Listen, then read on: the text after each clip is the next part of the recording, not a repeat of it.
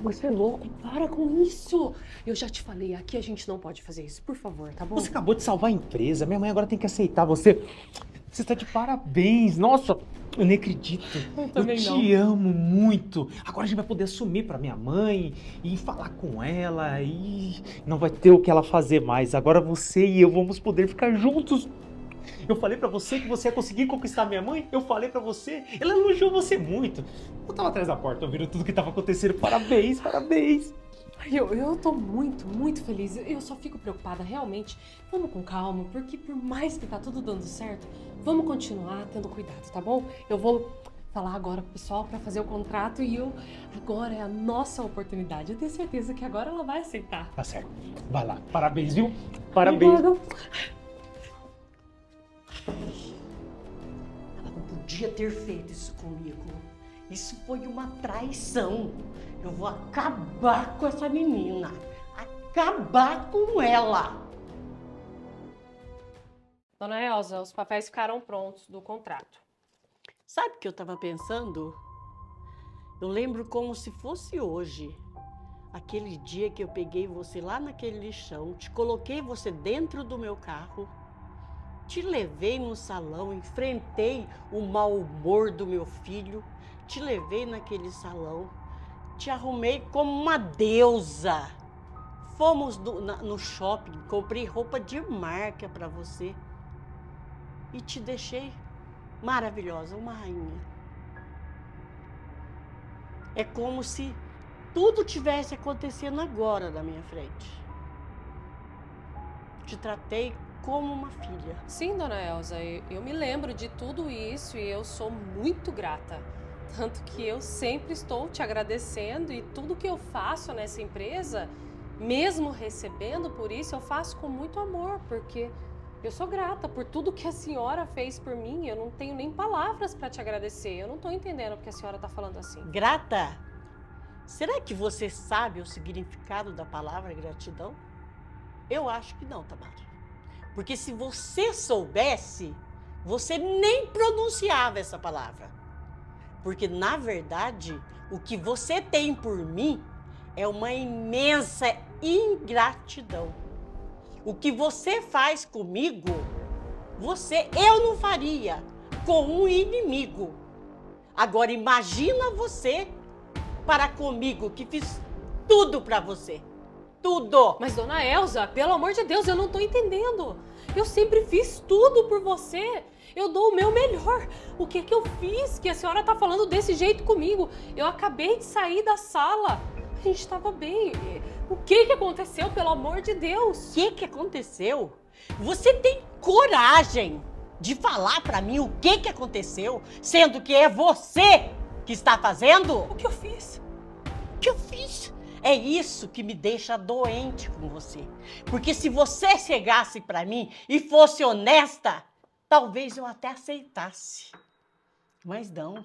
Você prefere fazer pelas minhas costas. Além da ingratidão, você ainda acha que na minha cara tá escrito trouxa, idiota.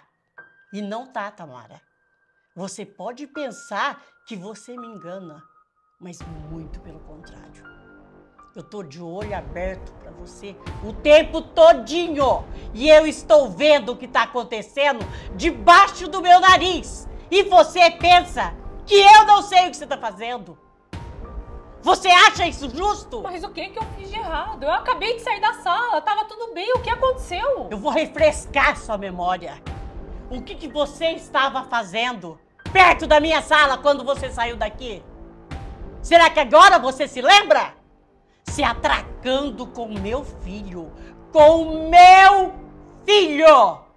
Foi a única coisa que eu te tirei da minha casa. Motivo pelo qual você não mora mais na minha casa.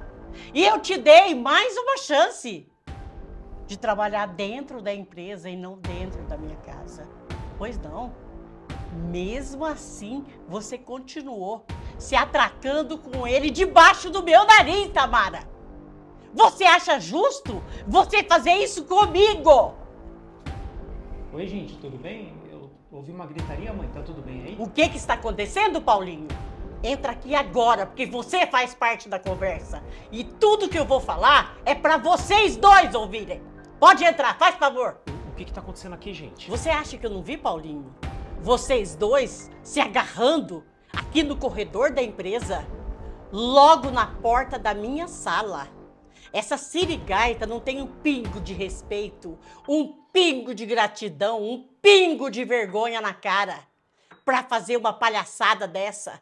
Foi a única coisa que eu pedi para não acontecer, que nunca mais acontecesse. Era vocês dois ficarem juntos. O que, que adiantou? Nada, nada. Eu estava pensando em colocar você como gerente geral da empresa. E olha o que você faz. Você acha justo fazer o que você fez? Não, eu acho que você quer é voltar pra rua, ser mendiga de novo. Eu tenho um amigo que fala cada um tem o que merece. E é isso mesmo! Você tem o que você merece! Ficar na rua! E eu quis te tirar de lá! Mal agradecida. Eu não merecia ouvir tudo isso, dona Elza. Você, Paulo? Você vai ouvir vai ficar quieto? Fala! Fala pra ela tudo o que você falou pra mim durante esse tempo que a gente tá junto. Se posiciona. Explica pra ela. Você mesmo acabou de falar comigo. Por favor, fala com a sua mãe. Vai, Paulinho. Abre essa boca.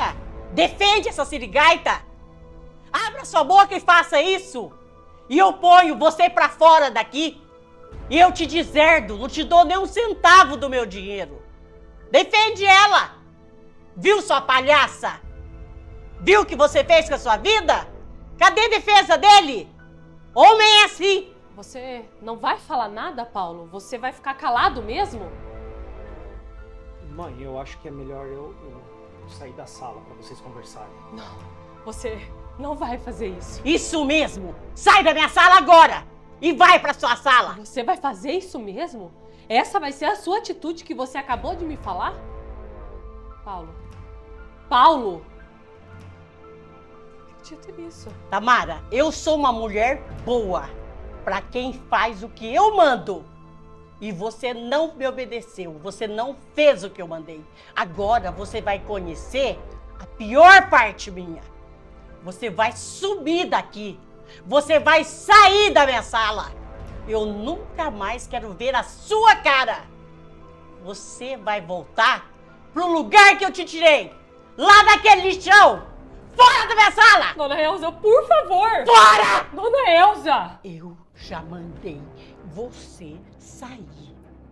Fora daqui.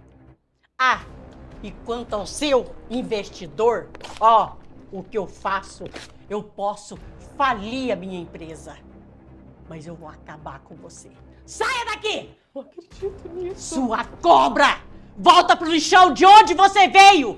E nunca deveria ter saído! Ai, Meu Deus do Tamara? céu, eu não acredito. Tamara?